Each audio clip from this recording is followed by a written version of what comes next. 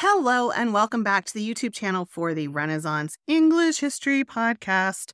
I'm your host, Heather. I've been podcasting on Tudor England since 2009, and this channel is where I put all of my episodes from all of my shows, as well as extra content like this video right here.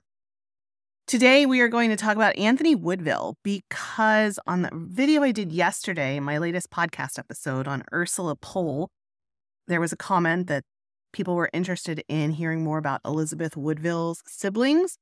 And Anthony, of course, is famous for a couple of reasons. First, he brought the printing press to England with Caxton.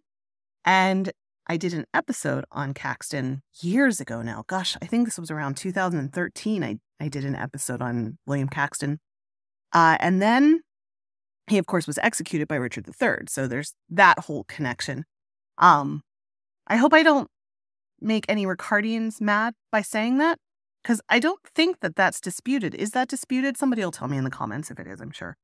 Um, anyway, so we are going to talk about Anthony Woodville. We're going to delve deeper into his life and understand his pivotal role during one of England's most tumultuous periods. Born into the influential Woodville family, Anthony's life was shaped by both privilege and the uncertainty of the times. His father, Richard Woodville, 1st Earl Rivers, and his mother, Jacquetta of Luxembourg, were well acquainted with the intricacies of court life. Growing up amidst the Wars of the Roses, Anthony witnessed firsthand the shifting allegiances and power struggles of the era. Then, of course, things took a turn for Anthony when his sister Elizabeth Woodville became the Queen of England through her marriage to Edward IV. This union was about love, of course. It was, you know, supposedly a, a very impulsive, impetuous thing that Edward just completely fell in love with her and just had to have her. But it was also a political game changer for the Woodvilles. With his sister as the nation's queen, Anthony was suddenly propelled into the limelight, finding himself at the epicenter of royal politics and decision making. So in 1464, when Anthony was about 24 years old, his sister Elizabeth, who was a young widow, married King Edward IV. This wasn't just a personal win for the family, it signaled Anthony's ascent into the echelons of power. With the Woodvilles now intimately connected to the throne, Anthony's status skyrocketed. Edward recognized Anthony's potential, granted him numerous titles, including the revered Earl Rivers and Lord Scales. But titles weren't just about prestige, with them came substantial responsibilities. As a key figure in the Yorkist regime, Anthony found himself deeply involved in the day to day administration of the kingdom. He wasn't just a passive beneficiary of his family's rise, he was an active participant, contributing to policymaking and steering the course of the country. Anthony Woodville had actually fought for the Lancastrians with his father, Sir Richard Woodville, in the early years of the Wars of the Roses. Then, after the Lancastrian army was decisively defeated in 1461, the Woodvilles, of course, supported Edward IV. So then he found himself on the side of the Yorkists. While there were not active battles going on in the Wars of the Roses, Anthony earned an international reputation for his bravery in tournaments. In 1469, his father was killed by rebels under the Earl of Warwick. Edward IV and Anthony Rivers and other Yorkists were driven into exile in 1470, in October of 1470. And then they returned back to England in March of 1471. Anthony Rivers helped defeat Warwick at the Battle of Barnet in April of 1471. He also then held London while Edward destroyed the Lancastrian army at Tewkesbury in May of 1471. So it's clear that his presence at the royal court wasn't merely ceremonial. Edward valued Anthony's counsel, leaned on him for both advice in domestic and foreign affairs. He played a significant role in shaping the political landscape of the time, ensuring that the Woodvilles remained at the heart of English governance. After 1471, it was clear then that the Yorkists were really in power, at least you know, for another decade and a half or so, and Anthony could focus more on cultural, literary, spiritual concerns. He translated the French moralistic work, Dictates and Sayings of the Philosophers, which was actually the first dated book printed in England. So, we're going to talk about his role with printed books. The printing press was changing the game in Europe at this time. Uh, its introduction was nothing short of a revolution. It's one of the reasons I love this period so much. It reminds me so much of what we are experiencing with the internet. Um, suddenly, information which had been just housed with an, an, an elite group of people, and you had to really go out of your way to, to get that information, could now be much more easily disseminated to everyone. And you know, it grew literacy. And over the next hundred years, you would see this huge growth in literacy. You would see the golden age of, of plays and of poems and everything like that. And along with that, also were a lot of concerns about how to manage that information, especially from the, the position of people in power who were concerned about misinformation, who were also concerned about propaganda. And uh, you see it a lot in Elizabeth's reign with concern about Catholic pamphlets coming in. Uh, so it really, there's so many parallels to what we are living through today with the internet and social media and everything like that. Uh, it's one of the one of the reasons I really love this time period. There's just so much that's so similar to what we are living through ourselves. So, what does Anthony Woodville have to do with this? While the printing press was making waves across Europe, Anthony saw its potential for England. Rather than just being a spectator, he actively championed its use in the country. Anthony had met William Caxton, who brought the first printing press to England while he was in Flanders. William Caxton was living there he was a merchant in the service to Margaret of Burgundy. Caxton moved to England in 1476. He brought with him the first printing press ever seen in England, and Anthony became his patron.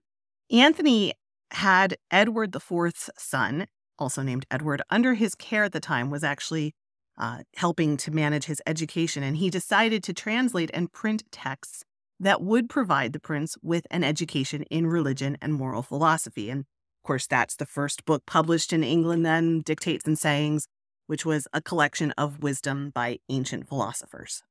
He was actually making a statement by selecting a work that bridged ancient wisdom with contemporary thought. He was emphasizing the importance of learning from the past while forging ahead with the future.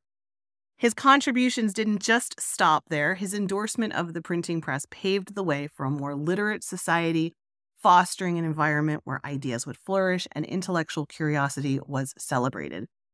It's a testament to his vision that he not only embraced this technological marvel, but also understood its profound impact on culture, education, and communication. He was a true Renaissance man of his time, and throughout the 1470s, as there was peace and as he was managing the education of the prince, he also made more contributions to English culture and society he was a patron of the arts. He recognized the power of poetry, music, and visual arts in enriching society. He was a patron of artists and poets. There's actually a plate in the Royal Academy of the Arts. It's one of 180 plates that make up the British School Number One album, which was compiled in the early 19th century. And this plate that I'm talking about specifically is an engraving entitled Anthony Woodville, Second Earl Rivers, presenting a book to Edward IV. And this plate is from 1807. And the engraving underneath says Earl Rivers presenting his book and Caxton, his printer, to Edward IV, the Queen and Prince, from a curious manuscript in the Archbishop's Library at Lambeth. The portrait of the prince is the only known one of him. And so, you know, it's kind of something to think about what he might have been able to do if he hadn't been busy. I don't know, patrolling the coast against an invasion by Margaret of Anjou or fighting in the Battle of Barnet. Uh, if he had had peace, it seems like he was somebody who really just wanted to patronize the arts and patronize literature. So it's kind of like one of those thought experiments to imagine what he could have done if he had had the peace and the space to be able to do that. His influence and proximity to power made him both a valued ally and, of course, a perceived threat. When Edward IV died unexpectedly, the political landscape changed dramatically. Edward's young son, Edward V, was next in line for the throne. But of course, as history would have it, the young prince's reign would never materialize.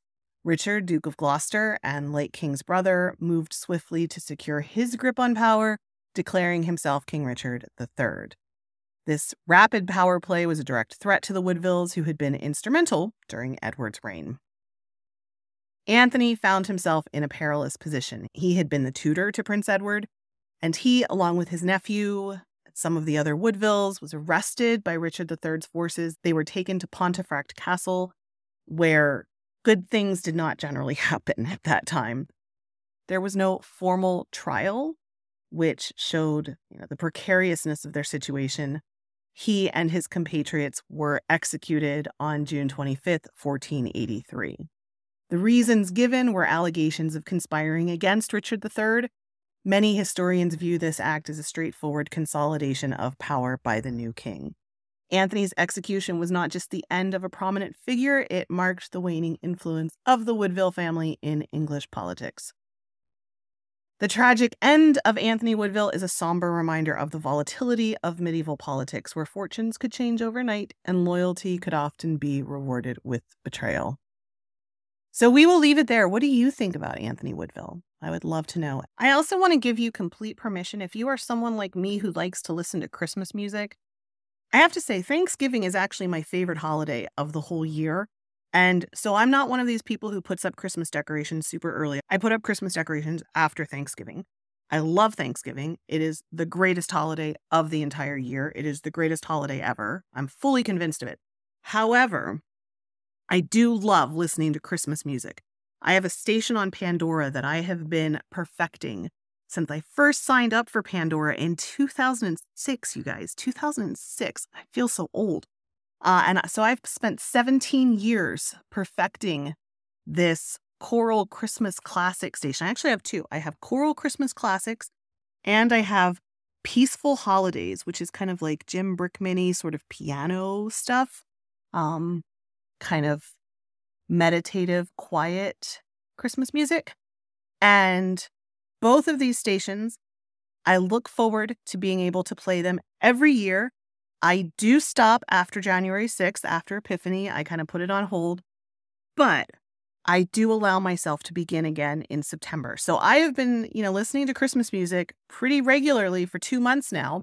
I want to give you full permission. And the way I want to do that is to give you four ways that I found on the internet, so it must be true, that listening to holiday music can make you healthier. First, it improves your mood the nostalgia you feel while listening to your favorite music has a pleasant neurological effect in which the brain's pleasure circuit is stimulated, releasing dopamine and serotonin. Second, it's good for your memory. Listening and singing along to your favorite holiday music can improve your memory. It's beneficial to your attention span and executive function. So there's that. Also, it can decrease your stress levels.